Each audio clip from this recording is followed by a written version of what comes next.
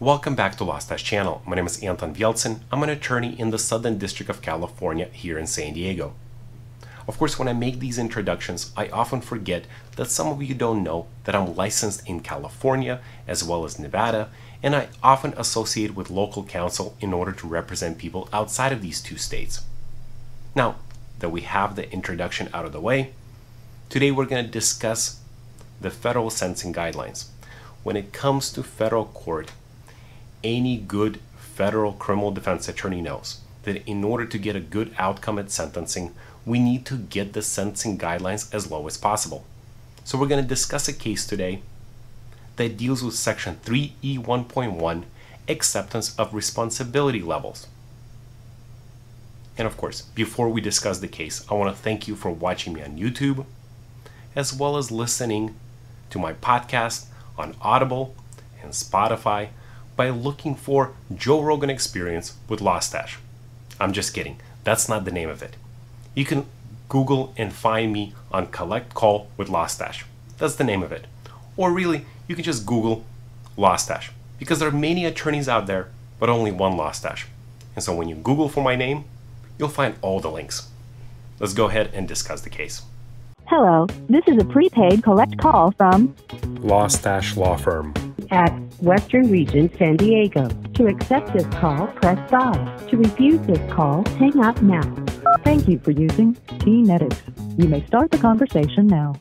Today we're going to be discussing the Ninth Circuit case United States versus Justin Wilke, who appeals his 20 month sentence after being found guilty of counts 1 through 6. Let me be a little bit more specific. He was charged with 8 counts he chose to take the case to trial, and during the opening statements, his attorney conceded his guilt on counts 1 through 6, and he only wanted to argue about counts 7 and 8. Interestingly enough, the jury found Mr. Wilke innocent on counts 7 and 8, and of course, they found him guilty on counts 1 through 6. During sentencing, Mr. Wilke argues for two level reduction for acceptance responsibility on counts 1 through 6. After all, he did concede his guilt on those counts during the opening statements. The court denied those two levels to Mr. Wilke, saying that Mr. Wilke did not timely accept responsibility. He made the government prepare on all counts to go to trial.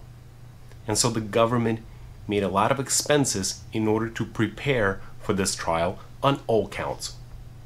We're now in the Ninth Circuit and we're dealing with the federal sentencing guidelines. We're looking at section 3E1.1 that deals with acceptance responsibility levels. Now he's arguing under the section A, which deals with the two levels. You receive those two levels of responsibility points if the defendant clearly demonstrates acceptance of responsibility for his offense. And there's, of course, section B.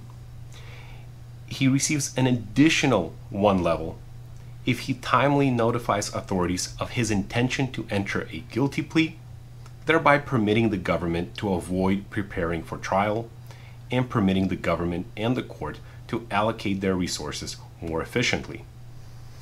In this case, Mr. Wilke says that if you read section A, it doesn't talk anything about timeliness and it doesn't talk anything about resources.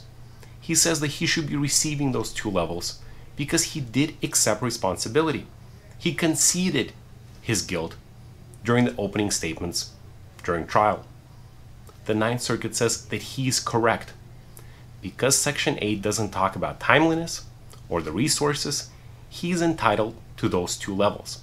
Of course, they remand the case to the lower court because his timeliness can still be a factor to see if he's actually truthful about accepting responsibility. But it is not a factor in Section A if there is allocution and he does actually say that he's truthfully accepting responsibility even if we look at the commentary under 3E1.1, there's a number of items that the court can look at. One, whether the defendant truthfully admits to the conduct in the conviction, whether he voluntarily terminates or withdraws from the criminal association or conduct, voluntary payment of restitution matters, voluntary surrender to authorities promptly after commission of the offense, voluntary assistance to the authorities, voluntary resignation from the office or position held during the commission of the offense, post offense rehabilitative efforts, and lastly, the timeliness of the defendant's conduct in manifesting the extra responsibility. So, as you can see, the last factor here is timeliness. But all we're trying to see whether he's being truthful about XM responsibility. We don't have to actually look on the legal side of things whether he gets XM responsibility levels under Section A. He does that as long as he clearly demonstrates XM responsibility. I hope you now understand a little bit more about XM responsibility levels. If you enjoyed this video, please click like, subscribe, hit that bell notification button so next time I post, you'll be first to know. And if you're listening to me on Spotify or Audible, please give my podcast a five star review. Thanks for watching.